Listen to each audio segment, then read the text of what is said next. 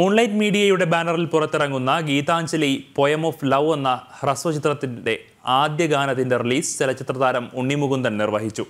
Siraj kit നന്ദി some- കഥയെഴുതിയ കഥയെഴുതി സംവിധാനം ചെയ്യുന്ന ഹ്രസ്വചിത്രമാണ് ഗീതാഞ്ജലി പോയം ഓഫ് ലവ് മേഘശലഭമേ എന്ന് തുടങ്ങുന്ന ഗാനമാണ് കുവൈറ്റിൽ നടന്ന ചടങ്ങിൽ പുറത്തിറക്കിയത്. Moonlight Media manager Adarsh Bhuvanesh നിർമ്മാതാക്കളായ Prashanth Chandran Praveen Krishna എന്നിവരും സന്നിഹിതരായിരുന്നു.